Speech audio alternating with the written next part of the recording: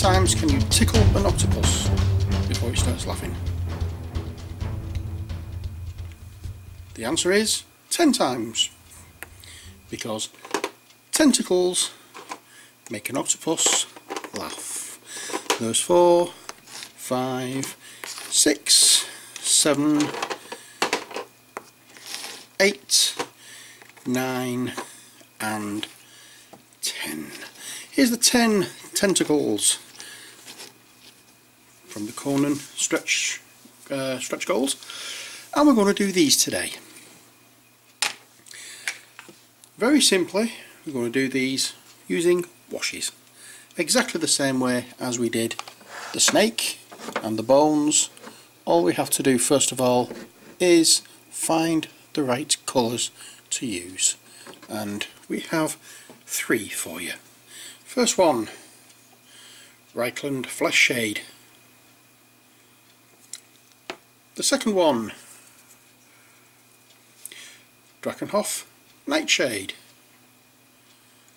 And the third one is not that one. Where are you? Where are you? Where are you? It's not that one either. I thought I picked it up. I hadn't. It's Coelia Green Shade. So these are the ones we're going to be using. So let's get on with it, shall we? I'm going to do all of one and then go back to the beginning again. So We'll do this in a little bit of a routine. So first off, the Reikland Flesh Shade is going to go all over the underparts of this. This is going to be where the um, suckers are. Dee -dee -dee and we'll just give a liberal coat of this all over. And once you start doing this one I'm going to just put the music on and speed it up so you're not having to watch the same thing over and over again. So uh, I'll be back in a bit after I've applied all the um, Reikland Flesh Shade. Okay.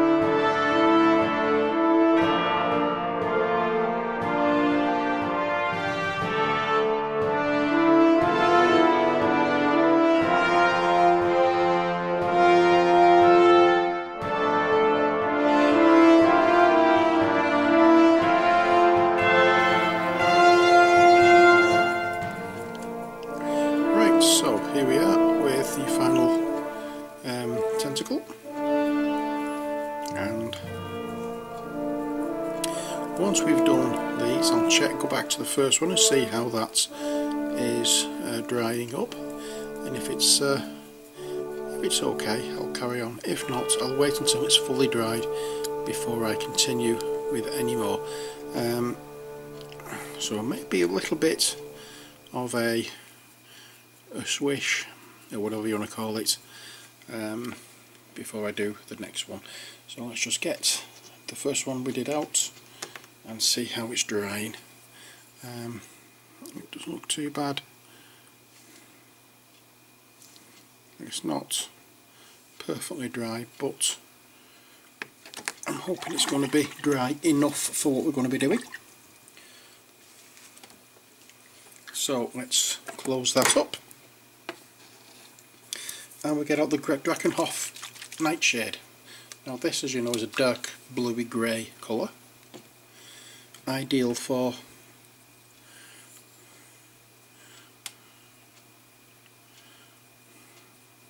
The um, colour of an octopus? Or shark or any other marine animal? And all we do is just add some of this colour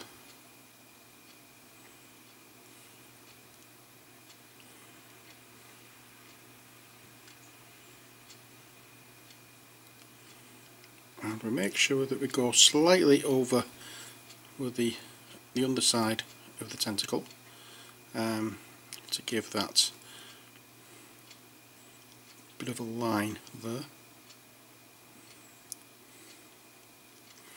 I've got to be a little bit more neater with this around the edges because I don't really want it to bleed too much.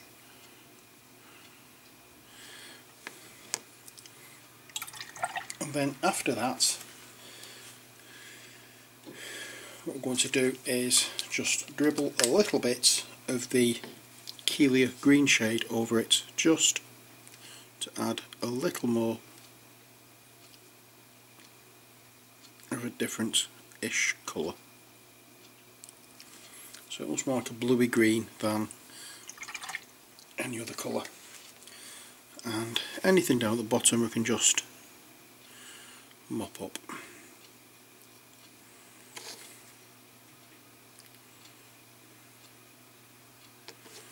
like so. There we are. And that's it for the octopus sausages. We do a bluey green on the top part and the Reikland flesh shade on the bottom. Not a hard job but at least you get to see how it's all done. Try not to make this one bleed like we did with the snake um, because I didn't like the way it looked after it was done with the snake so I'll do a very um, onto this very um, do we call it prominent difference between the two colours and the two areas which is why I want to be as neat as we can with this.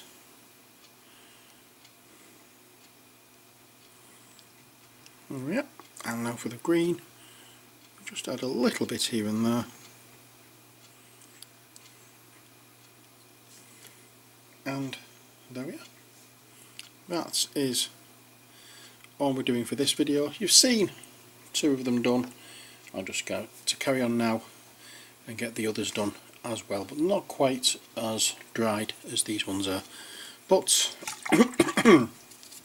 they're all going to look fairly similar to this and uh, you can see them all when we're finished and we get round to actually sorting out the base for it which um, I'm not sure what to do with this one yet we will find out in time. But until then, as always, take care, God bless, and bye for now.